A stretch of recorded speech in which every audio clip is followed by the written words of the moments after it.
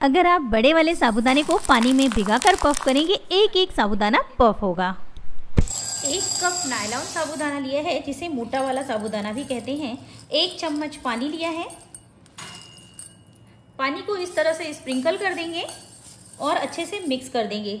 सभी साबुदाने में पानी लग जाना चाहिए। मिक्स हो जाने के बाद ढक कर पाँच मिनट के लिए रख देंगे। और ये ले लिया है एक कप मखाना। जब तक साबुदाना भीग रहा है मखाने को भून लेंगे। कढ़ाई में तेल घी कुछ भी नहीं डाला है इसे ड्राई रोस्ट कर लेना है। पाँच से छः मिनट में ये भुन जाएगा। मखाना भुनकर क्रिस्पी हो गया है इसे निकाल लेंगे। मखाने को एक प्लेट में निकाल लिया है। साबुदाना इस तरह से चिपक जाएगा। इसे ऐसे अलग अलग कर लीजिएगा। हल्का सा ये ऊपर से गीला हो गया है। ऊपर से गीला होने के कारण ये कैसे रोस्ट होता है क्यों होता है चलिए आपको आगे बताऊँगी मैं। कढ़ाई में घी या तेल जिसमें भी आप फ्राई करना चाहते हैं गर्म होने के लिए रख दीजिए। साबुदाना फ्राई करने के बाद आपको जिस बर्तन में निकालना है उसमें किचन टॉयल लगाकर रख लीजिए।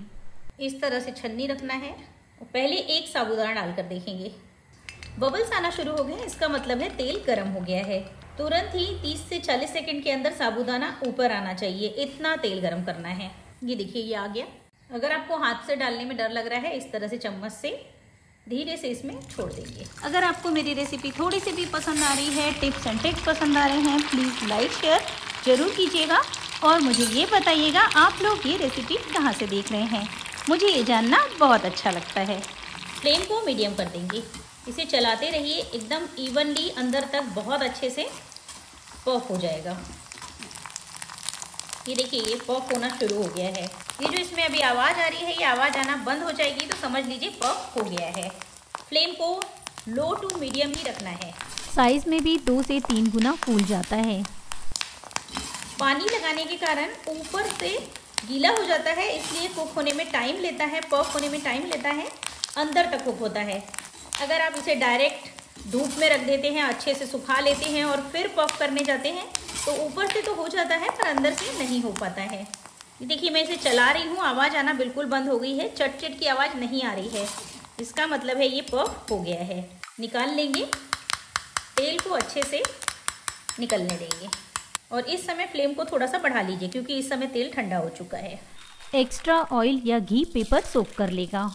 जब आप इसमें सेकेंड बैच डाल रहे हैं तब तेल अच्छे से फिर से गर्म होना चाहिए। एक से दो चम्मच डाल देंगे चलाते हुए सेम तरीके से हम फ्राई कर लेंगे।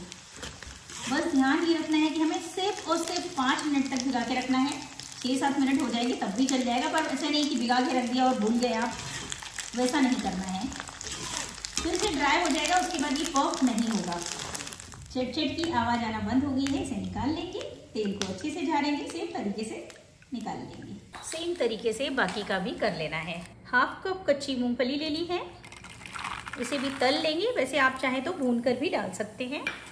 फ्लेम को मीडियम रखना है। मूंगफली इस तरह से फूटने लगी है, उसका छिलका तड़कने लगा है। इसका मतलब है मूंगफली भुन गई है।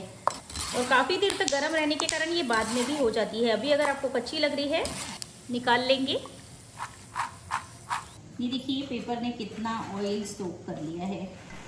साबुदाने का एक्स्ट्रा ऑयल निकल गया है। अभी इसके ऊपर दूसरा पेपर रख दे रही हूँ मैं। और तली हुई मूंगफली भी इसके ऊपर डाल देंगे। आपको मैं पास से दिखा देती हूँ ये कैसी तड़की है। 10 से 12 बादाम को बीच में से कट कर लिया है, इसे भी फ्राई कर लेंगे। बादाम फ्राई होते हुए 15 से 20 सेकंड हो गए हैं, इसी समय इसमें काजू बीच में से कट करके डाल देंगे, क्योंकि काजू बहुत जल्दी हो जाते हैं, इसलिए बाद में डालिएगा। और यहाँ पर एक से डेढ़ चम्मच मगज बीज लिया है, इसे सबसे लास्ट में डालेंगे। ये देखिए मगज बीज भी फूल गया है काजू और बादाम भी हो गए हैं। काजू और बादाम को बिल्कुल जलने मत दीजिएगा हल्का सा क्रंच आ जाए बस उतना ही करना है। एक के बाद एक डालिए एकदम परफेक्ट हो जाएगा। निकाल लेंगे। इसे भी पेपर के ऊपर डालिए एक्स्ट्रा ऑयल निकल जाएगा। अगर आपके पास आलू लच्छा है वो भी फ्राई कर लेना है नहीं है अवॉइड कर सकते हैं। आलू लच्छा बहुत ही जल्दी से फ्राई हो जाता है, इसलिए इसे ध्यान से फ्राई कीजिएगा, तुरंत ही निकाल लीजिए, नहीं तो लाल होने लगता है। अगर आपके पास नहीं है, अवॉइड कर सकते हैं या फिर फ्रेश आलू लच्छा भी बना सकते हैं। लंबाई में कटी हुई मिर्च या फिर छोटी कटी हुई मिर्च डाल दीजिएगा। मिर्च को अच्छे से होने दीजिएगा, नहीं तो पूरे नमकीन को ये ख़राब कर देगा, सॉफ्ट कर देगा। मिर्च हो गई है, इसी समय इसमें कड़ी पत्ता डाल तेल निकाल लेंगे इस तरह से झाड़ते हुए। अब इसका पेपर निकाल लेंगे। इसमें ही मखाने डाल देंगे। एक बर्तन में एक चम्मच सेंधा नमक, आधा चम्मच भुनी काली मिर्च पाउडर, एक छोटा चम्मच भुना जीरा पाउडर, एक चम्मच आमचूर पाउडर या फिर टेस्ट के अकॉर्डिंग आमचूर पाउडर, आधा चम्मच पिसी हुई चीनी डालेंगे। इसे मिक्स कर लेंगे। इस मसाले को इसमें ही डाल देना है और अच्छे से मिक्स कर लेना है। रेडी है व्रत का नमकीन। बिना व्रत के भी इंजॉय कर सकते हैं। रूम टेम्परेचर पर आ जाने के बाद आप इसे एक से डेढ़ महीने तक फ्रिज के बाहर स्टोर कर सकते हैं। बिल्कुल वैसा का वैसा ही क्रंची और टेस्टी रहेगा। साबुदाने के ऊपर हल्का सा पानी लगाकर फ्राई करने से पफ करने से एक एक साबुदाना अंदर तक क्रंची करारा और पफ होता है। मौसम कोई भी हो फ्राई करने का तरीका यही रहेगा। अचानक गेस्ट आने पर भी सर्व कर सकते हैं और चाय के साथ भी इंजॉय कर सकते हैं। व्रत में तो खा ही सकते हैं। बनाइए, खाइए इंजॉय कीजिए। Bye bye